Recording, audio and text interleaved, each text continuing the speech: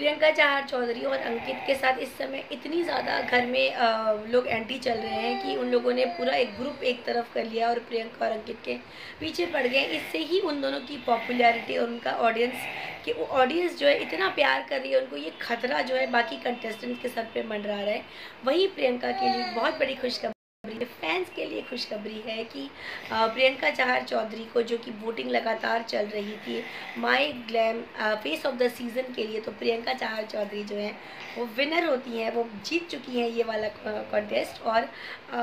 निमृत और सुम्बुल अब बाकी जो घर वाले, जो घर की लड़कियाँ हैं स्पेशली सौंदर्या और जो भी सृजिता और टीना, इन सब का क्या रिएक्शन होने वाला है गॉड नोज़ क्योंकि निमृत जो है वो तो वैसे भी आधा जल के राख होने ही वाली हैं, लेकिन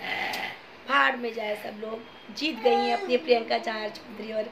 फाइनली उन्होंने दिया है अपने ही अपने ही घर के कंटेस्टेंट को करारा जवाब। So wish you all the very best Priyanka, और अंकित हमारी तरफ़ से आपको ढेर सारी बधाइयाँ हों और ऑल द बेस्ट आप लोग ज़रूर जीते, ये हमारी भी मनोकामना है। Thank you